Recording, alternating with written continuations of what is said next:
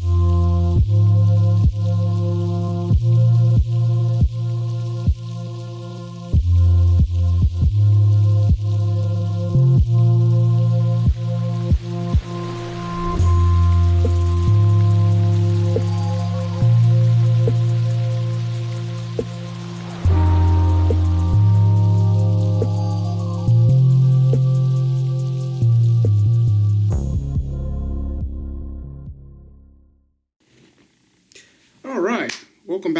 Fishing, all you hookoholics. Um, this is going to be a little bit of a different video. So, uh, it's the new year. I hope everybody celebrated uh, responsibly and everybody has their New Year's resolutions intact so we can get 2020 behind us and move forward to 2021. Because Lord knows we need a new year. so, like I said, this is going to be a little bit different. Um, as always, I like to do giveaways, especially around my birthday and holidays, etc. And uh, this year, with everything going on, uh, you know, I wanted to change things up. I like to do things on the fly, and I like to add little twists and turns into a lot of things. I'm not like your standard giveaway where every week you give away the same prizes. So I figured it's around the holidays. We just celebrated Christmas. How about we do a little thing like Christmas in July, which is also my birthday? So what I'm going to do is we're starting it now on New Year's, the 1st of January, 2021. And now throughout until July the 1st, what I've decided to do is I'm going to start building a giveaway. So every week, every month from now until July, I'm going to add items to this giveaway. And then on the 1st of July, I'll do a review of all the items that have been accumulated and on the 8th of July, for my birthday, uh, we're going to do a big giveaway. So this could be any, I mean, this could be $1,000 giveaway. It could be, who knows. Um, so we're going to start off right now. But primarily this video is just a little bit of one of my little uh, spending jaunts uh, in my boredom going back and forth to Dick's Sporting Goods. I went a couple of times because I had a few different uh, discount coupons, uh, like a 10% off here, and uh, you know if you spend $50, you get so much off, and I had a $20 discount coupon, um, along with some items that happen to be hanging on this tree behind me that are definitely going to be part of this giveaway. So we'll start out with a little reveal at the end of this video if you make it all the way through. Uh, we're going to show you the things that are on here that are also going to be in it. Some of the things that I'm going to show you out of this bag are going to go in the giveaway. Um, just out of happenstance. And uh, like I say, as we go on throughout the year, uh, I'm going to be building on this box. So somebody will luckily have a large plethora of a multitude of baits and items that they can enjoy uh, for the summer uh, and throughout the following years in their fishing exploits. So let's start off uh, right off the bat. We'll start with one of the bigger totals. So for uh, $10.64 of shopping, so I decided I was into a couple of videos on swim baits. So while I was in Dick's, I picked up a Mike Bucca's bluegill uh, in the in the baby in the bluegill, and then I got a bull shad also in the bluegill pattern.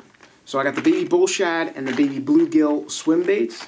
So I'm interested to try these out and see um, you know how they go. I already have a, blue, a, a bull shad in uh, that silver gray color. Um, this is just more of a bluegill pattern which matches the hatch around my area. So I was interested to use that. Uh, again, these are normally at Dick's on sale for $14.99, but I had a coupon for $20 off, so I got the pair of them and picked it up. Instead of paying $30, I paid $10.64, tax included. So that was a good, a good buy there. Uh, next thing I did pick up, put that aside for later. I got um, a couple of little swim baits. So that goes with this. There.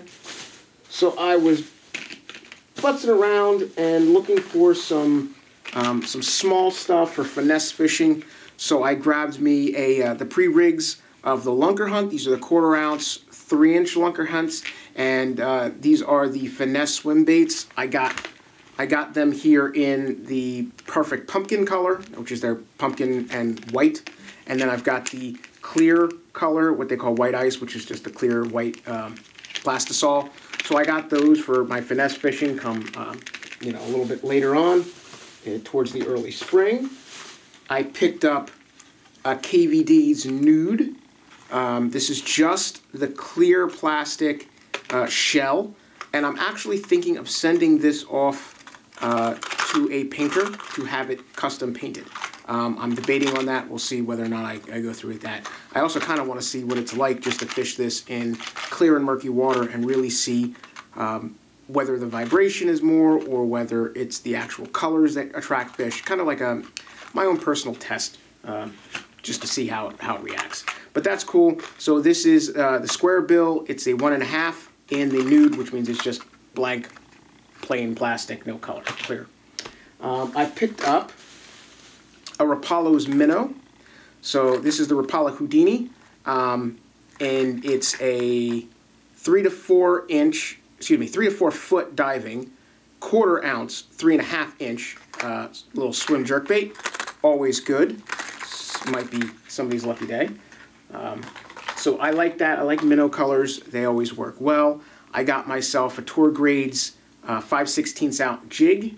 Um, this is in the Costa Rica made manufactured. Um, it's got that really unique um, kind of barb on the bottom of it for your trailer as a keeper, which I like. Uh, it really does hold plastics pretty darn securely. Um, and it's got the silicone around the skirt, so the skirt doesn't peel off as easily. So the tour grades are, are a little bit of a step up, in my opinion, with the Strike Kings, and I like that. So again, this is 5 16ths. I picked one of them up, and I picked up uh, from 10,000 Fish, little strobe stripes. So these are those um, those shimmer swimmers in the glass color. It's a four pack. It's just white with the, the little silver foil in there that crunches when they bite into it. These things have been absolutely uh, amazing, shockingly good. So we got those. And finally, I picked up, uh, to go along with those little finesse swim baits, I got the finesse worms. I got these in the Okeechobee craw. I also got, which are just basically little, little uh, TRDs. And then I've got the Finesse Craws, quarter ounce, and I've got these in the Bama Craw and again in Okeechobee. Uh, Okeechobee, that blue-green color. So uh, I want to see how those work out. Who knows? So that was a pretty good deal. Um, all total, that came to $3.61 because with buying all that stuff, I actually had a $40 discount on all that. So that dropped uh, $43.39 total purchase down to $3.61. So that was my uh, that was my big sale deal, um, which I'm really happy happy to have had. Next up, again, I, I went on multiple cases, so I figure what the heck. Um, this was a little bit bigger. I had a $10, $10 off when you spend $50 or more coupon I kind of went overboard. I thought I, I thought I did my math a little bit better. I thought I was like at uh, like sixty-five dollars, but evidently one thing was a little bit more than I expected. I, I wasn't really paying attention to the price on the fluorocarbon that I picked up, so it, it kind of got me. But uh, we got in here. We'll start off with that big thing. I got myself some P-Lines Tactical Fluoro. I do like this. Um, it's one of the the fluorocarbons that I actually use as a go-to. Um, this is a 20 pound test, which is my all around like heavy heavy weight line. Um, again, it sinks, so this is for your crank baits, your jerk baits, your, your sinking baits. Uh, don't do this for top water. It's fluoro, obviously. That wasn't bad, but again, that was uh, about twenty dollars more than or ten dollars more than I thought. I thought it was like twenty five dollars. It ended up being thirty four dollars. So, caught caught me off. Uh, the sticker was. It's hard to read. Sometimes they just fill spaces in retail just to fill a spot so you don't have an empty void on your wall. And I think that's what happened. They had them in a like an L pattern, and I thought that they were just had a course of them, but in fact, I think this was just put in an empty spot for a different line, and I wasn't paying that much attention. My bad. Next up, um, I got a few of these. So back to Rapala. I got some Rapala baits. I've got the Rapala's rattling sinking blade bait. Um, this one is in the Mossback Shiner, which is a really cool color. This is basically like a lipless crank meets your blade. So I like blade baits. I really do swim them, especially now in cold weather. Blade baits, ripping them are, is just awesome. Um, this one is a two and a half inch. It weighs a half ounce. So really good. And then to go with that, in the chrome blue, which is a very similar color to the uh, mossback shad. Mossback shad has a little bit of green on the back end. Um, take this out just so you can see. Because why not, right? So the mossback, it's got that chrome and blue color, but it's got that green hue down the middle, down the lateral line, and a little, just a hue of, of olive on the back side of it um, to go with that silver basically you have the silver scales and the olive kind of in the in the back end. Um, but this thing is definitely one of my uh, preferred styles of fishing cold water times. Um, is a blade bait, surprisingly. This or um, running, uh, you know, your your uh, your jigs, your standard jigs. Oh, and the other cool thing about these, what I do like is they are I mean, I've done this before. I've taken a treble hook and snipped off the welded treble so that you end up with just a bi, like a frog hook, um, instead of a treble hook. Um, and it makes this incredibly weedless because as you're coming over cover, uh, sticks and stumps, instead of having that third hook that might stick out and catch and hang you up, by having that front one cut off, it'll fold back and it'll actually let you clear uh, a lot of obstructions without getting your bait hung up. So that's really cool. I like how Rapala's already thought of that and taking care of it ahead of time so you don't have to actually, um, you know, in a way, throw away a good hook because you'd be damaging a, a perfectly fine hook right out the, out the box. In modifications, they do the modifications ahead of you, so that's always good. And then, of course, like I said, I've got this little lipless crank.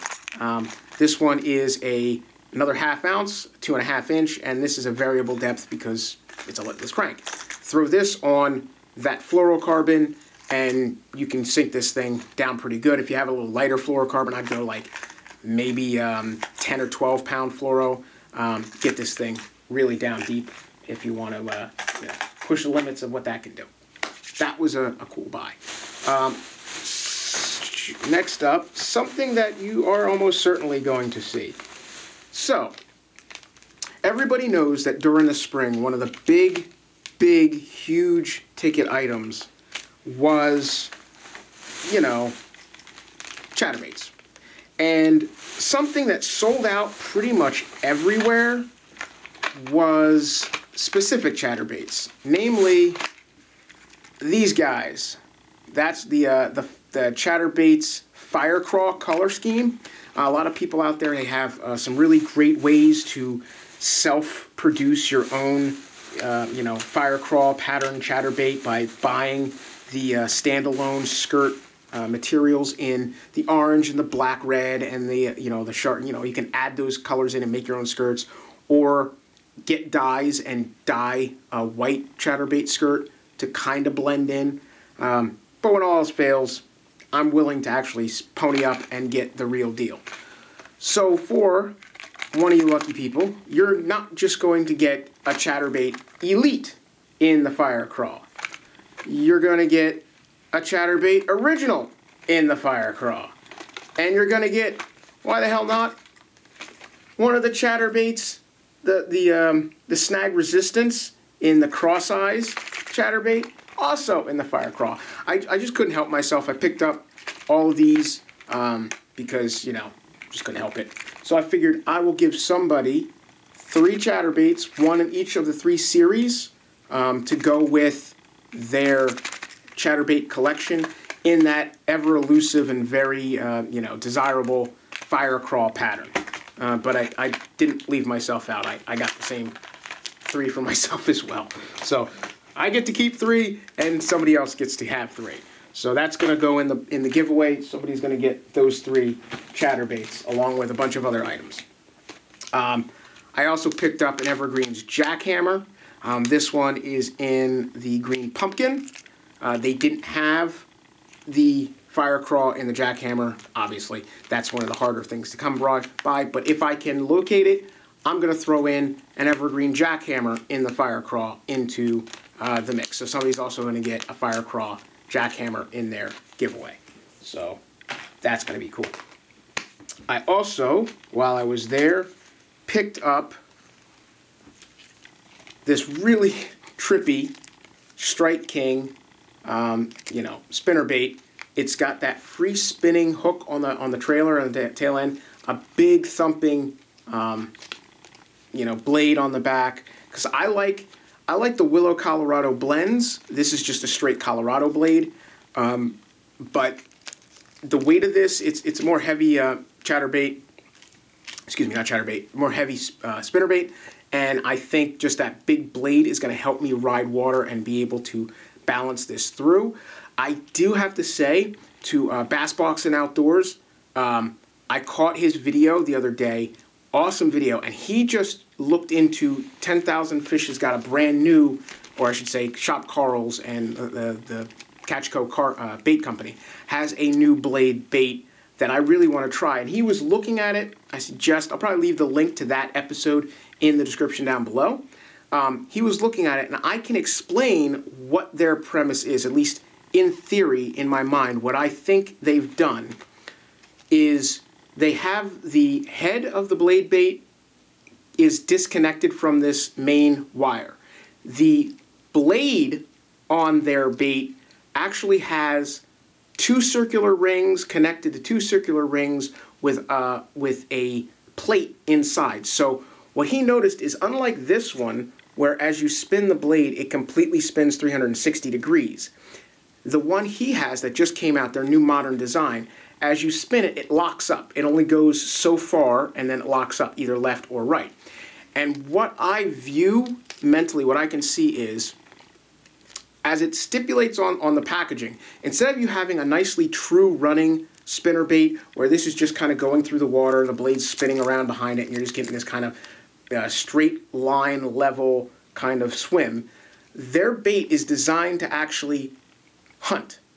It's it's everything that anglers that like swim baits, like the baby bull shad and and etc. That's the action that you're looking for is a hunting action. That erratic left right hunt hunt hunt hunt. This this uh, Catchco modified spinner bait is designed to do that. It has a serpentine action under the water. And what that, the reason why it's set up that way, bass boxing, if you're paying attention, as the blade turns, it locks up, and that acts as a rudder. So that's going to pull that bait one way or the other, depending on which side it's locked up on. Then it'll go to a certain point, and that head will position and pivot back and cut back. That's that dual action of the the head moving in one direction only a certain uh, certain um, number of degrees, and the blade at the top locking and spinning one way and then spinning the other, that is what's designed to give you that serpentine action. So it'll lock up, go as far to the right as it'll allow. Once the water flow, the hydrodynamics hits that head and that head rotates, that'll lock up and it'll pull that blade the opposite direction. And then that'll draw the, the entire bait back to the left and then back to the right. Excuse me. Right, left I gotta remember cameras, stage right, stage left, audience. That's your right. It's my left. the wonders of of, uh, of, of computers and and uh, video. So that is my interpretation of what this is designed. It's it's basically it's a similar thing to uh, aerodynamics, but they're using it for hydrodynamics, which is basically using that that set of keys on the top, those rings, and that flat plate that locks it so it doesn't completely spin around. It prevents it from having. It actually causes it to have a reaction to the water where it'll turn itself into a rudder temporarily and cut that, that bait to one direction or the next. The head obviously is designed not only to counter that rudder action, but also to, to balance it and give you that vibration as well, I'm sure, um, to give you more of a vibration and to, to keep that running true because you obviously don't want that blade to lock up and then it start to spiral and cyclone underwater. You have to have something that that balances out. Similar to a helicopter, the propellers on the helicopter rotate this way. You have that tail propeller rotating the opposite to counteract the the the theology that the copter is going to want to spin like a top. So you have to counter that rotation on the top with a, a buffer to push against it, and that's what I see is the balance between that head and that uh, that blade design. Just me spitballing out of the top of my head. Uh, but that was really cool to see, and I'm definitely looking forward to ordering one of those uh, to give that a try myself and see if my hunch pays off. Uh, I got as well another swim jig in the quarter ounce. This one um, I don't know. I just like it. It's got a chartreuse and green pumpkin kind of color to it. Um, very, very shad-like, silvery and, and, and white. I think that's going to help me in the shad spawn. And finally, I got some shrooms, some TRD shrooms. Um, these are in uh, pond scum color. So uh, maybe somebody will get some shrooms. Just saying. It's a possibility. Who knows? Mm, finally, a big ticket item. I was bored, and I got me another SLX DC. Um, originally 189. They had it on sale for uh, 169. So couldn't beat it. They had $20 off, so I picked it up for $20 off the price. This one is the HG. So if you know, I have my SLX DC, just like Scott Martin's daughter's SLX DC. In fact, mine's kind of cooler because my fishing line matches the rod. So I've got the uh, I've got the favorites defender um, with the American uh, red, white, and blue pattern, uh, and then I've got the SLX DC on it, uh, which is what Scott Martin's um, daughter has, and uh, Hillary. So she's got that. Uh, she's just got, I think, last I saw an episode with her using it, I think she just had either a mossy oak color line or what have you in braid. I've got the red and white and or white and blue braid, camo braid, so it kind of blends with the raw. I know I'm lame, but it is one of those things that I'm quirky about. So the one I've got on my rod over there, that is the right hand retrieve. This one's the HG, which is or excuse me, the 151 HG as opposed to the 150 HG. The 150 high gear is the right hand, the 151 HG is this guy for us ambidextrous anglers. This is the left hand retrieve. So now I've got a DC in right and left, just so I can throw this on a rod that I am waiting for Shop Karl's since November. It ended up in Texas on the 9th of December, and it's been stuck there ever since. And today being January the 1st, I'm very ho-hum. But uh, I'm to hopefully get in contact once the, the season's holidays are over and people get back in the office. And I'll try to locate my missing rod so that I can put this reel on that rod, spool it up with that fluorocarbon, and uh, have some fun. So we'll see. But uh, I look forward to getting this out and uh, working that on my new rod as soon as my rod comes in. You may or may not notice some change in quality in maybe the audio, certainly the video with this submission. If you go back to my other videos, it's not going to be as good as this one because one of the other reasons why I was so uh, you know late in uh, putting out content, my cameras shit the bed. They just gave up. so uh, I a long time ago, about I think uh, 11 years ago, I purchased from a, a store um, two JVC uh, little miniature cams, little uh, camcorders, and um, unfortunately, one second. So these guys are what I've been doing my videos with. They're really cool video cameras. Um, you know, they're very small, palmable. JVC Everios, definitely old school. I've had them forever. Um, the problem is, for whatever reason, when I open up, I can use it. But as soon as I rotate this to there, so I can do a vlogging portion, so I can see what I'm seeing, you can't see anything. Um, so it'll turn on when I open it up, but the screen will be will be gray, just no image. Um, and then I turn it over, and it's still gray and no image. However, when I fold it back so that the screen is facing out, but it's against the body of the camera, then the picture comes up normal. But if I have to look like this to see what I'm doing over here, it's kind of obnoxious. So unfortunately, the ribbons in both of these two screens both gave up. First one, and then shortly thereafter, about a week later, uh, the other one. And they're both basically doing the exact same thing. One starts to give me image when it's about like yay, and the other one, it's a little bit tighter to the body before the image comes through. But both of these are basically, I don't know, the ribbons are shot in them. So as far as cameras, I might keep them for perspective cameras just as additionals, like set them static, keep them in the corners, and record. I always like these because these recorded on not one but two separate SD cards. Um, so you could have A card or B card. A card could be your stills, B card could be your video, or you could have both cards in and they both be video, and you could record for a hugely extended period of time. Uh, but now, since these gave up, I went and ordered and finally came in. The camera that you're seeing right now, which is a Canon camera, um, it's definitely marks above this these. So uh, hopefully this is a little bit better. This camera is also waterproof, where that, those two are not. So I can take this outside. If it starts raining, I don't have to worry. It's a waterproof um, little small handy cam. So that's cool. And it's about the same size as those. So that's a really good good bonus. So I apologize for my delinquency and a lot of a lot of the stat, uh, stuff coming out. But as I say, that's kind of where it was. Uh, I was waiting on this rod, hoping to add that to this exhibit. Um, I wanted to get some things together for the giveaway. Uh, I also am going to throw in for the giveaway this guy right here in bone. Um, this is one of my favorite top waters. Um, if you like a whopper plopper and you like a small little spook or a little walking bait, um, the Prop Walker by Savage Gear is one of my favorites. It's pretty much the first bait I will pull out during the summer. I will always fish this first. I will fish it like a topwater spook, then I will pop out those winglets and fish it like a like a whopper plopper. And then after that, if I don't get a topwater bite, uh, topwater re- reaction in my open water, obviously if I'm in grass or lily pads or whatever, uh, in cover I'll go to a frog.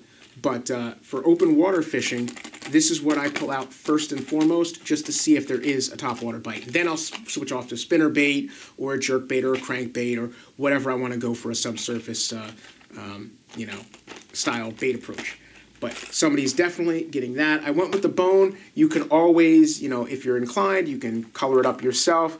I've always had great success in the white because it's the shadow, especially in top water bite. They're looking up as shadows, and this kind of gives you that just that hint of shape, and they hit it pretty darn well.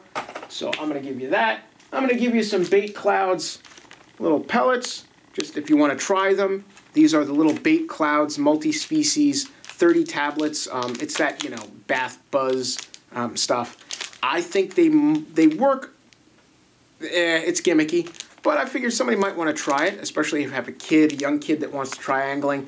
They'll show you how you can rig it. You can rig it on craws. You can put it in tube baits, which is primarily how I've used it so far. Is just stuff it in a tube before I before I uh, put the hook in the tube. You can also tie this to your wacky rigged worm, your senko. It'll give off a little bit of a bait scent around the area where you're fishing it. Um, so somebody's definitely gonna get those. Gonna throw in some Googan Squads uh, and summer craw. These are the slim shape worms. I'm going to throw a pack of Boot Googan's slim shape worms in there. More stuff definitely to come down the rod, down the pike. I'm going to throw in a great American flag, uh, you know, neck necko for somebody because we got to be safe and it keeps you cool. I'm going to throw in a little live target shrimp for somebody who might want to go offshore angling or might actually think you might catch something with a shrimp. I don't know. I saw it. I thought it was cool. I like little gimmicky things some, sometimes, and this is kind of neat, neat looking. So I'm going to throw that in for you. And uh, just for giggles, I'm going to give somebody a nice little fishing rod. It's not really a fishing rod. This is um, a little uh, lighter, little butane lighter. I figure if you're out camping, uh, you're out fishing in your RV, uh, you need to light your pilot light on your little camp stove. If you're out doing a catch and cook, it's a little cute, you know, cute little thing. You can throw this out and light your fire. It keeps it a distance, so you're not actually sticking your hands with little matches, because you know, keep your fingers nice. And uh, on top of that, because I've been such such a, an impressed individual, I'm gonna give a Buzbe. So I'm gonna give uh, in this package is gonna be one of the Buzbe containers.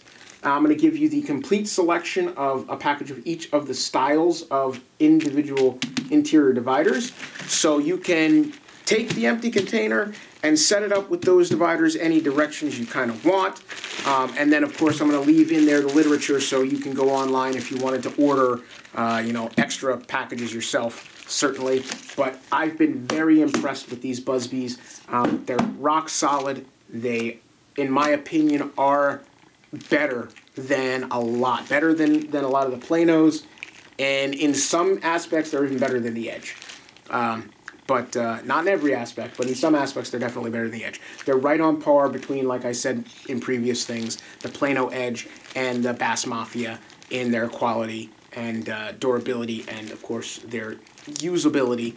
Um, you know, like I said in my in my review of these, and I'll leave the uh, link at the at the back end of this little photo you can click on to see the review that I made about these Buzbes. Um, they are great. They could be better. Everything always can be better. Um, and certainly there would there there was a way to make it so that they held a few like an extra row of uh, of baits.